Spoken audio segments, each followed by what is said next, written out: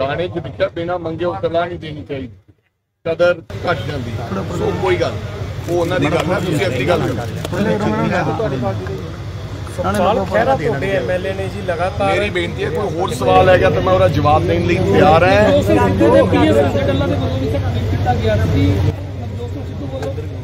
ਵੜਿੰਗ ਸਾਹਿਬ ਕੱਲ ਸੁਨੀਲ ਜਾਖੜ ਦਾ ਜਿਸ ਤਰੀਕੇ ਦਾ ਬਿਆਨ ਹੈ ਕਹਿੰਦੇ ਜੀ ਚੰਨੀ ਨੂੰ ਕੋਈ ਮੁੱਖ ਮੰਤਰੀ ਨਹੀਂ ਮੰਨਿਆ ਤੇ ਵੜਿੰਗ ਨੂੰ ਕੋਈ ਪ੍ਰਧਾਨ ਨਹੀਂ ਮੰਨਦਾ। ਕਿਉਂਕਿ ਮੈਂ ਕਿਹੜਾ ਕੋਈ ਪਰਿਵਾਰਵਾਦ ਪੋਲਿਟਿਕਸ ਤੋਂ ਹੈ ਮੈਂ ਕਿਹੜਾ ਕੋਈ ਹੁਕਮਨਾਮੇ ਛੱਡ ਰਿਹਾ। ਮੈਂ ਤਾਂ ਆਮ ਵਰਕਰ ਸੀਗਾ ਦਰੀਆਂ ਵਿਛਾ ਕੇ ਇੱਥੇ ਆਇਆ। ਉਹ ਏਡੇ ਏਡੇ ਸਰਦਾਰ ਲੋਕਾਂ ਨੂੰ ਹਜਮ ਨਹੀਂ ਹੋ ਰਿਹਾ। ਤਿੰਨ ਵਾਰੀ ਸੁਨੀਲ ਜਾਖੜ ਪੰਜਾਬ ਦਾ ਐਡਾ ਵੱਡਾ ਲੀਡਰ ਕੇਵਲ ਤਿੰਨ ਵਾਰੀ ਜਿੱਤਿਆ ਐਮਐਲਏ ਬਣਿਆ ਨਹੀਂ। ਬਲਰਾਮ ਜਾਖੜ ਜੀ ਦਾ ਤੇ ਰਾਜਾ ਵੜਿੰਗ ਵੀ ਤਿੰਨ ਵਾਰੀ ਐਮਐਲਏ ਬਣੇ। ਸੋ ਨੇਚਰਲੀ ਇਹ ਗੱਲ ਵੱਡੇ ਵੱਡੇ ਲੀਡਰ ਨੂੰ ਹਜਮ ਕਿਵੇਂ ਆਵੇ ਕਿ ਇੱਕ ਦਰੀਆਂ ਵਿਛਾਉਣ ਵਾਲਾ ਮੁੰਡਾ ਬਲਾਕ ਪ੍ਰਧਾਨ ਤੋਂ ਉੱਠਿਆ ਜਿਹੜਾ ਬਾਪ ਸਰਪੰਚ ਨਹੀਂ ਸੀਗਾ, ਉਹ ਤਿੰਨ ਵਾਰੀ ਪੰਜਾਬ ਦਾ ਐਮਐਲਏ ਬਣ ਗਿਆ ਤੇ ਪੰਜਾਬ ਕਾਂਗਰਸ ਪਾਰਟੀ ਦਾ ਪ੍ਰਧਾਨ ਬਣ ਗਿਆ। ਮੈਂ ਕਾਂਗਰਸ ਕਰਕੇ ਕਾਂਗਰਸ ਪਾਰਟੀ ਕਰਕੇ ਅੱਜ ਪ੍ਰਧਾਨ ਜੋ ਵੀ ਕੁਝ ਹੈ। ਉਹਨਾਂ ਕੋਲੋਂ ਪ੍ਰਧਾਨ ਜੀ ਜਦੋਂ ਖੁਸ਼ੀ ਉਹ ਕਾਂਗਰਸ ਲੋਕਾਂ ਨੂੰ ਛੱਡ ਕੇ ਚਲੇ ਗਏ। ਹਰ ਬੰਦੇ ਦੀ ਆਪਣੀ ਆਪਣੀ ਫਿਤਰਤ ਹੈ ਭਾਈ।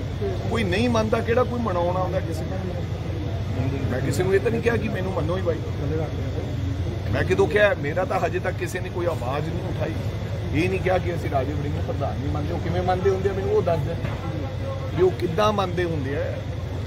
ਪ੍ਰਧਾਨ ਕਿੱਦਾਂ ਮੰਨਿਆ ਜਾਂਦਾ ਹੈ? ਉਹ ਇਹ ਦੱਸ ਦੇਣ ਵੀ ਫਲਾਂ ਬੰਦਾ ਸਾਰੀ ਕਾਂਗਰਸ ਇੱਕ ਮੁੱਠ ਹੋ ਕੇ ਜਿੱਥੇ ਸੱਦਾ ਦੇਈਦਾ ਉੱਥੇ ਕਾਂਗਰਸ ਪਾਰਟੀ ਖੜੀ ਹੋ ਜਾਂਦੀ ਹੈ। ਇੱਕ ਮੁੱਠ ਹੋ ਕੇ।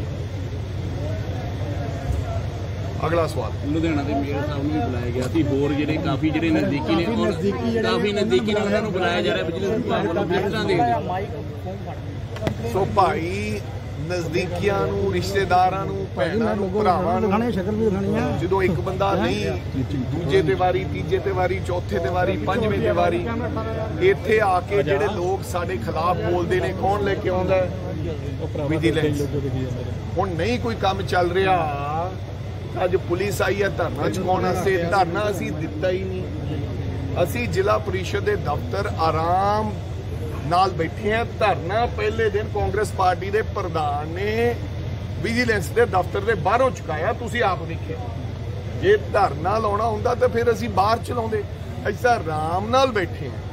ਕੀ ਆਪਦੇ ਸਾਥੀ ਮਗਰ, ਆਪਦੇ ਦੋਸਤ ਮਗਰ, ਆਪਦੇ ਮਿੱਤਰ ਮਗਰ, ਆਪਦੇ ਪਾਰਟੀ ਦੇ ਕੁਲੀਗ ਦੇ ਵਾਸਤੇ ਉਹਦੇ ਨਾਲ ਜਾਣਾ, ਵਕੀਲ ਕਰਨਾ ਉਹਦੇ ਵਾਸਤੇ ਖੜਾ ਹੋਣਾ ਅਗਰ ਗੁਨਾਹ ਹੈ ਤਾਂ ਫਿਰ ਇਸ ਨੂੰ ਗੁਨਾਹ ਰੱਖ ਸਮਝ ਲਓ। ਅਸੀਂ ਕੋਈ ਮੁਰਦਾਬਾਦ ਕੋਈ ਜ਼ਿੰਦਾਬਾਦ ਕੋਈ ਘਰਾਓ ਕੋਈ ਧਰਨਾ ਜੇ ਕਰ ਰਹੇ ਹੋ ਤਾਂ ਤੁਸੀਂ ਸਾਨੂੰ ਦੱਸ ਦਿਓ 140 ਦੀ ਕਹਿੰਦੇ ਉਲੰਘਣਾ ਜ਼ਰੂਰ ਕਰ ਰਹੇ ਹੋ। ਧਾਰਾ 144 ਜਦੋਂ ਧਰਨੇ ਦੀ ਗੱਲ ਹੁੰਦੀ ਹੈ ਫਿਰ ਧਾਰਾ 144 ਦੀ ਉਲੰਘਣਾ ਹੈ। ਫਿਰ ਅੱਜ ਪੰਜਾਬ ਦੇ ਅੰਦਰ ਧਰਨੇ ਕਿੰਨੇ ਲੱਗੇ ਇਹ ਦੱਸ ਫਿਰ ਤਾਂ ਉਹਨਾਂ ਸਾਰਿਆਂ ਤੇ ਧਾਰਾ 144 ਲਾ ਦਿਓ। ਅੱਜ ਸਾਰੇ ਪੰਜਾਬ ਦੇ ਵਿੱਚ ਧਰਨੇ ਲੱਗੇ ਨੇ ਲਾਈਨਮੈਨਾਂ ਨੇ ਧਰਨੇ ਲਾਏ ਨੇ ਬੇਰੋਜ਼ਗਾਰਾਂ ਨੇ ਧਰਨੇ ਲਾਏ ਨੇ। ਹੋਰ ਬਥੇਰੇ ਲੋਕਾਂ ਨੇ ਜਿਨ੍ਹਾਂ ਨੇ ਧਰਨੇ ਲਾਏ ਨੇ ਉਹਨਾਂ ਤੇ ਕਾਰਵਾਈ ਕਰ ਦਿਓ ਸਾਡੇ ਤੇ ਵੀ ਕਰ ਦਿਓ। ਏਡੀਸੀਪੀ ਕਹੇ ਸਰ ਏਡੀਸੀਪੀ ਕਹਿ ਰਹੇ ਨੇ ਕਿ ਪਿਆਰ ਪਹਿਲਾਂ ਪਿਆਰ ਨਾਲ ਮਨਾਵਾਂਗੇ ਨਹੀਂ ਤਾਂ ਫਿਰ ਸਖਤੀ ਕਰਾਂਗੇ। ਉਹ ਸਖਤੀ ਨੂੰ ਕੀ ਹੈ ਜੀ? ਪਿਆਰ ਨਾਲ ਕੀ ਹੈ? ਸਾਡੇ ਤੇ ਪਰਚਾ ਦੇ ਦੇਣਗੇ।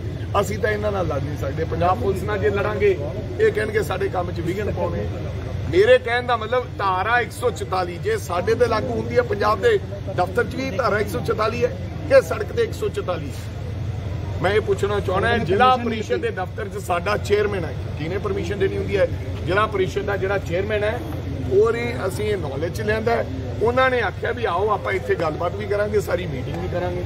ਸੋ ਜ਼ਿਲ੍ਹਾ ਪਰਿਸ਼ਦ ਦੇ ਦਫ਼ਤਰ ਦੇ ਵਿੱਚ ਨਿਰੰਤਰ ਇਹ ਮੀਟਿੰਗ ਵਗੈਰਾ ਜਾਂ ਗੱਲਬਾਤ ਦਾ ਸਿਲਸਿਲਾ ਉਹ ਜਿਹਦਾ ਜਾਰੀ ਹੈ। 144 ਸੜਕ ਦੇ ਬਾਹਰ ਹੋ ਸਕਦੀ। ਅਸੀਂ ਉੱਥੇ ਹੈ ਹੀ ਨਹੀਂ। ਨਵੀਂ ਰੂਪਰੇਖਾ ਕੁਝ ਕਾਂਗਰਸ ਨੇ ਕੋਈ ਨਵੀਂ ਰੂਪ ਰੂਪਰੇਖਾ ਕਾਰੀ ਹੁੰਦੀ। ਹੁਣ ਤੁਸੀਂ ਕੁਝ ਕਰਨ ਜਾ ਰਹੇ ਹੋ ਕੋਈ ਨਵੀਂ ਰੂਪਰੇਖਾ ਨਹੀਂ।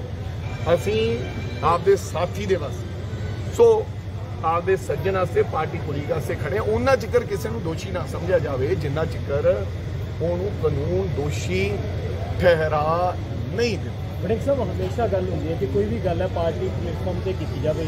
ਜਿਸ ਤਰੀਕੇ ਨਾਲ ਟਵੀਟ ਦੇ ਸੋ ਮੈਂ ਉਹਦੇ ਦਾ ਦੇਖ ਰਿਹਾ ਬ੍ਰਦਰ ਤੁਹਾਡੇ ਕੋਲੇ ਕੋਈ ਹੋਰ ਸਵਾਲ ਨਹੀਂ ਹੁੰਦਾ। ਹਮੇਸ਼ਾ ਐਸਾ ਸਵਾਲ ਕਰਕੇ ਲਿਆਉਣੇ ਵੀ ਮੈਂ ਉਲਟੀ ਖਬਰ ਦਿਖਾਵਾਂ। ਮੇਰੀ ਬੇਨਤੀ ਹੈ ਮੇਰੀ ਬੇਨਤੀ ਹੈ। ਸਰ, ਸਵਾਲ ਇੱਕ ਮੈਂ ਤੁਹਾਨੂੰ ਹੈ, ਨਵੇੜਤੀ ਹੈ। ਹੁਣ ਹੁਣ ਇਸ ਗੱਲ ਦੇ ਬ੍ਰਦਰ ਆਰਗੂ ਮੈਂ ਤੁਹਾਡੇ ਨਾਲ ਕਰ ਨਹੀਂ. ਸਕਦਾ। ਤੁਸੀਂ ਪੱਤਰਕਾਰ ਮਹਾਨ ਆਦਮੀ ਹੈ। ਮੈਂ ਬੋਲੂਗਾ ਤਾਂ ਫਿਰ ਮੇਰੇ ਨਾਲ ਤੁਸੀਂ ਮੇਰੇ ਨਾਲ ਛੋਟੇ ਵੀਰ ਮੁੱਦੇ ਤੇ ਗੱਲ ਉਹ ਮੈਂ ਪਹਿਲਾਂ ਮੁੱਦੇ 'ਚ ਜਿਹੜੀ ਸਾਰਿਆਂ ਨੇ ਪੁੱਛਿਆ ਉਹ ਮੈਂ ਤੁਹਾਨੂੰ ਦੱਸੀ ਉਹਦੇ ਬਾਰੇ ਕਿ ਬਿਨਾ ਮੰਗੇ ਉਹ ਸਲਾਹ ਨਹੀਂ ਦੇਣੀ ਚਾਹੀਦੀ ਕਦਰ ਘਟ ਜਾਂਦੀ ਉਹ ਨਵੇੜਤੀ ਗੱਲ ਇੱਕ ਵਾਰੀ ਉਹਨੂੰ ਵਾਰੀ ਵਾਰੀ ਸਵਾਲ ਮੇਰਾ ਇਹਦੇ ਰਿਲੇਟਡ ਇਹ ਸੀ ਕਿ ਕੀ ਜਿਹੜੇ ਹਾਂਜੀ। ਜਿਹੜੇ ਲੀਡਰ ਮੈਂ ਪਹਿਲਾਂ ਮੈਂ ਪਹਿਲਾਂ ਹੀ ਕਿਹਾ ਮੈਂ ਪਹਿਲਾਂ ਕਿਹਾ ਕਿ ਕਦੇ ਵੀ ਜ਼ਿੰਦਗੀ ਦੇ ਵਿੱਚ ਕਿਸੇ ਵਿਅਕਤੀ ਨੂੰ ਕੋਈ ਦਿੱਕਤ ਹੋਵੇ ਕੋਈ ਪ੍ਰੋਬਲਮ ਹੋਵੇ ਪਾਰਟੀ ਪ੍ਰਤੀ ਜਾਂ ਪਾਰਟੀ ਦੇ ਕੰਮਾਂ ਪ੍ਰਤੀ ਉਹ ਪਾਰਟੀ ਪਲੇਟਫਾਰਮ ਤੇ ਦੱਸ ਸਕਦੇ ਕੋਈ ਵੀ ਵਿਅਕਤੀ, ਉਹਨਾਂ ਨੂੰ ਮੇਰੀ ਗੁਜ਼ਾਰਿਸ਼ ਹੈ, ਕਿਸੇ ਨੂੰ ਵੀ ਕੋਈ ਸਲਾਹ ਦੇਣੀ ਹੈ, ਉਹ ਪਲਾਟ